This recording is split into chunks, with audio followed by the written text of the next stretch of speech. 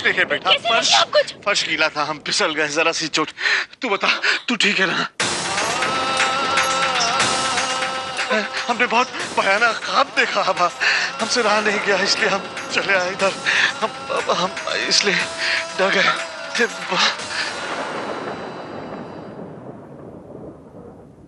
बच्चों पर संकट आने से पहले माता पिता को उसका आभास हो जाता है ठाकुर साहब। ये रिश्ता ही कुछ ऐसा होता है।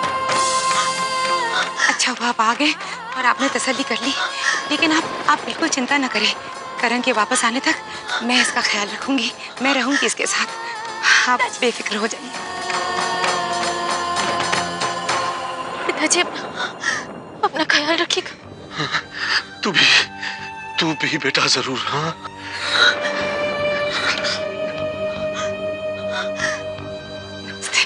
चल बेटा।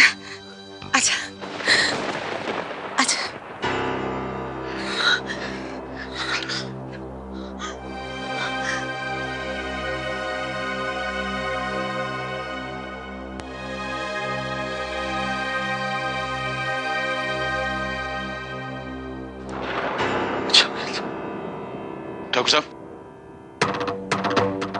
मैं जानता हूँ ये चोट आपको कैसे लगी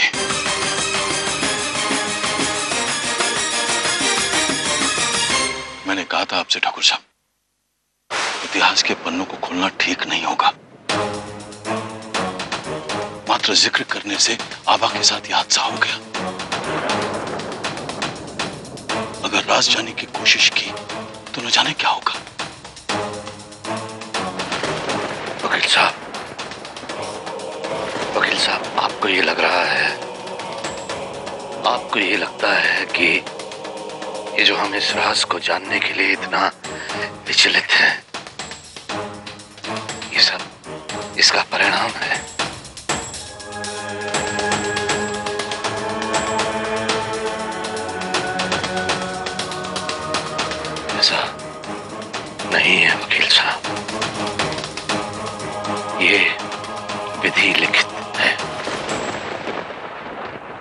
बस इस संकट को टालने का प्रयत्न कर रहे हैं वकील साहब। और हम खुद नहीं जानते कि हम इस प्रयत्न में सफल हो पाएँगे भी या नहीं। क्या मतलब है आपका? वकील साहब हमने स्वर्ण भवन के बहुत पुराने मुनीम जी को बुलवाया था। उनसे पूछने के लिए। हमारे बहुत ज़ोर देने पर उन्होंने बताया कि किसी एक दुर्घटना के चलते स्वर्ण भवन पर एक श्राप है। और वकील साहब, उस श्राप के तहत स्वर्ण भवन की लड़कियों को उनकी जान का खतरा है। जानते हैं आप आप हमारी बात पर यकीन नहीं करेंगे। बेशक लेकिन हकीकत ये भी है, वकील साहब, प्रत्यक्ष के लिए कोई प्रमाण नहीं होता। आपने आपने देखा ना, आज आवा के साथ क्या हादसा हुआ? वकील साहब, हमने विधि लिखित में पढ़ा है। वो जो तहखाना है यहाँ, उसके दरवाजे पे जो ताला है, उसकी एक चाबी है। वो यही कहीं किसी लाल कपड़े में लिपटी हुई रखी। जिन दो पन्नों में उस चाबी का ज़िक्र है, उस उस विधि लिखित से गायब।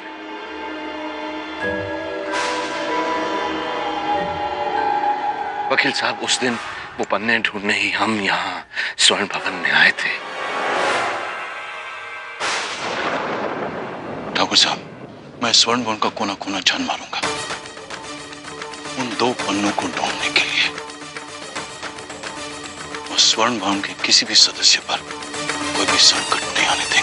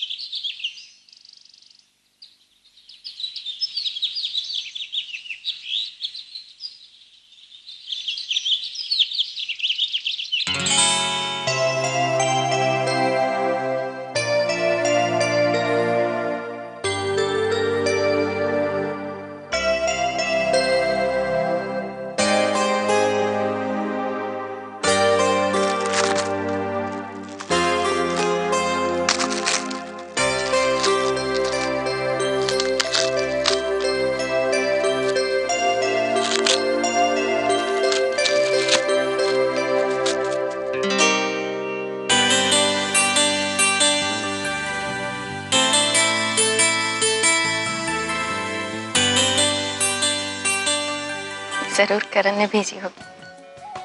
करण भी ना कैसे कैसे गिफ्ट भेजते हैं? सारी बातें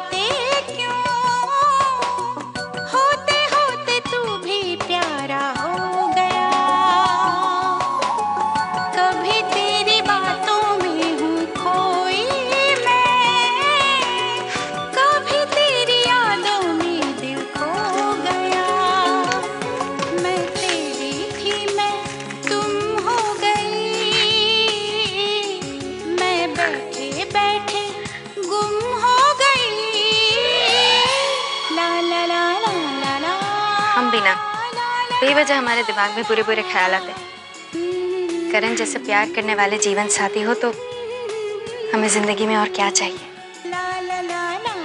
हम करण को फ़ोन कर देते हैं।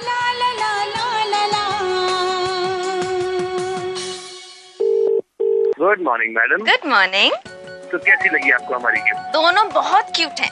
दोनों? इसका मतलब आपने अभी तक कबर नहीं खोली। कबर्ड कबर्ड में क्या है?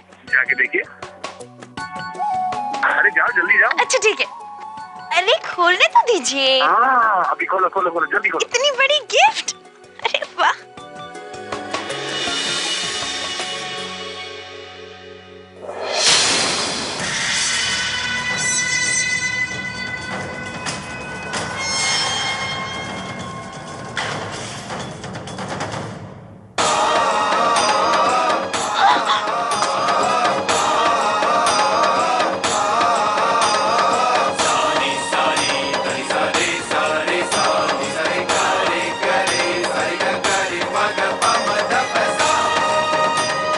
भी अपनी आने वाली ज़िंदगी को लेकर कुछ अच्छा सोचते हैं तब भी कोई अशुभ बात हो जाती। है अरे जल्दी करो मैं वेट कर रहा हूँ। हेलो हेलो आबा हेलो हेलो आबा मैं फ़ोन होल्ड कर रहा हूँ बताओ ना कैसी है? गुड़िया टूटी हुई है करण। टूटी हुई है? ये ये कैसे हो सकता है? आई एम सो सॉरी आबा मुझे पता नहीं है कैसे हो गया।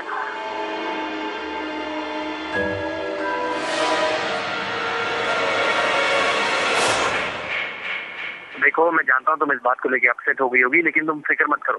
मैं अभी जाके उस शॉपकीपर की खबर लेता हूँ और उसे बोलता हूँ कि एक नई सी प्यारी सी और सुंदर सी गुड़िया भेजे बिल्कुल मेरी हाथों की तरह। हम्म? स्माइल करो। स्माइल करो। हाँ ठीक है। That's good.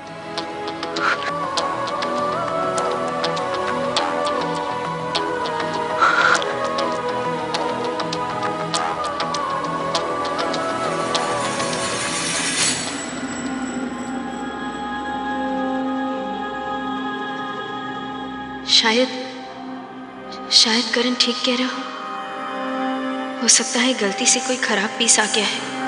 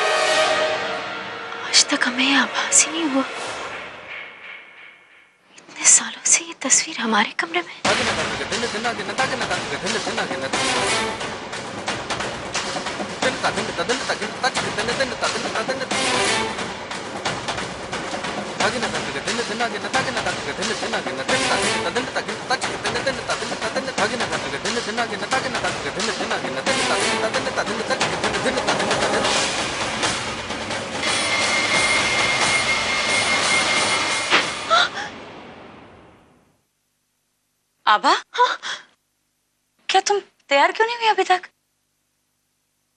नाश्ता ठंडा हो रहा है? चलो। हाँ आते हैं। तुम्हारे लिए कुछ खास बनाया मैंने आज। आज आते हैं।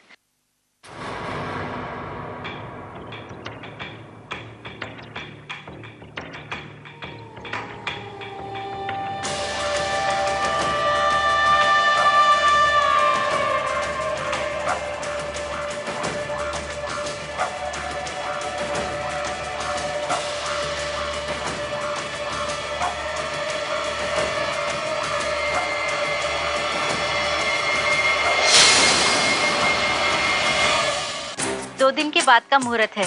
क्या कहती हो? शादी जितनी जल्दी हो जाए, उतना अच्छा है। और हाँ उन्हें इतना ज़रूर बता दीजिए कि प्रियंका के साथ मैं भी उसके ससुराल जाऊँगी।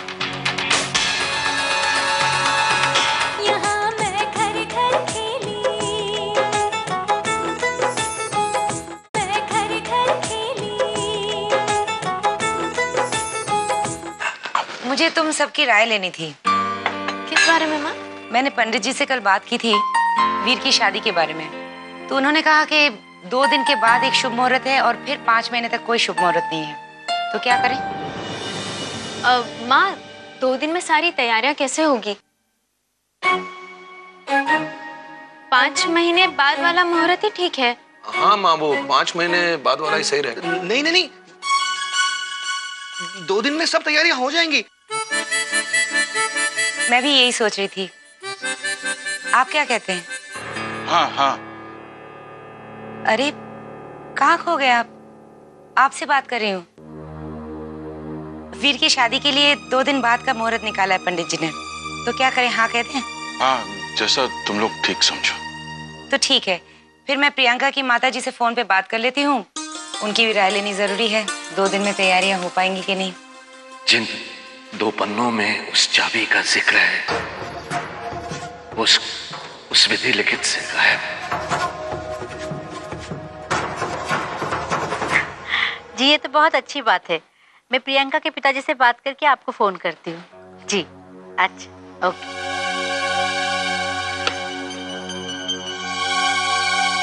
दो दिन के बाद का मुहूर्त है। क्या कहती हो? शादी जितनी जल्दी हो जाए, उतना अच्छा है। और हाँ उन्हें इतना ज़रूर बता दीजिए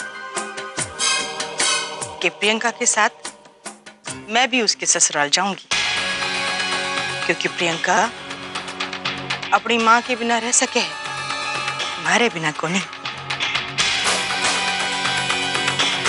स्वर्ण भवन से अच्छी चोखी खबर आई है। मिठाई को नहीं खिलाएगी? ज़रूर खिलाऊँगी। अभी लाती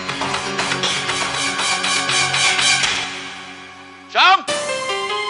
राजू! जी बड़े साहब। हाँ बाकी की कहा जाओ जल्दी आओ जल्दी आओ। स्वर्ण भवन का कोना कोना छान मारो। कुछ भी मिले। चाहे वो कागज़ का टुकड़ा क्यों ना हो। फेंकने से पहले मैं देखना चाहूँगा। समझे? जाओ तुम लोग जाओ जल्दी जाओ।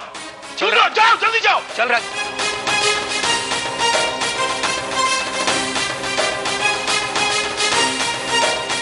जल्दी हो रहा है ना माँ? हाँ बेटा लेकिन मैं बहुत खुश हूँ। प्रियंका के घर वाले भी मान गए। आज दादी होती तो कितना खुश होती। हाँ बेटा मैया को अपने पोतों से बहुत लगाव था। इसीलिए तो अपने जीते जी इन्होंने सारी बहुओं के लिए गहने बनवा लिए थे। प्रियंका के लिए भी बनवाए थे। वही ना जो आपने हमें उस दिन दिखाए थे? हाँ बेटा। हम अभी निकालते हैं।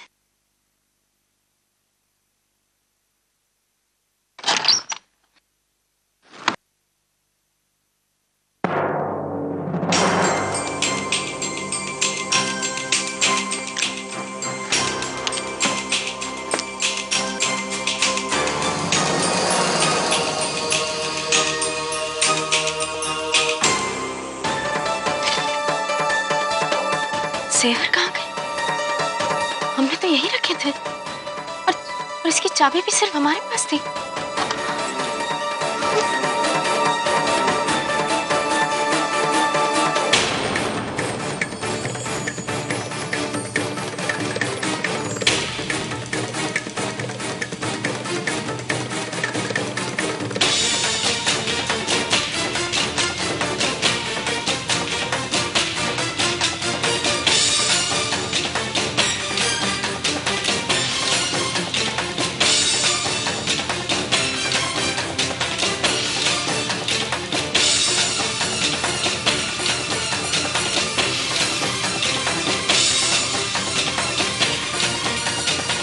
बेटा? पता नहीं माम सेवर हमने यही रखे थे अब मिल नहीं रहे हैं। कहाँ गए बेटा? तुमने भूल से कहीं और तो नहीं रख दिया? नहीं बेटा शादी से पहले जेवर मिलने बहुत ज़रूरी है। नहीं तो प्रियंका के लिए नए गहने भी बनवाने पड़ेंगे और माँ नए गहने खरीदने की क्या ज़रूरत है। मेरे पास इतने सारे हैं उसी से ले लीजिएगा। नहीं बेटा ये जेवर मिलने बहुत ज़रूरी है। अबा ढूंढो जरा। हम ढूंढते ढूंढ ले जरा बेटा।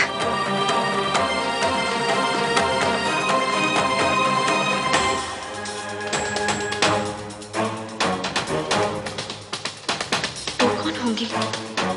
जिनके गले में हमने वैसे ही जेवर देखे थे जो दादी पहनती थी। जिन दो पन्नों में उस चाबी का ज़िक्र है उस उस विधि लिखित से गायब।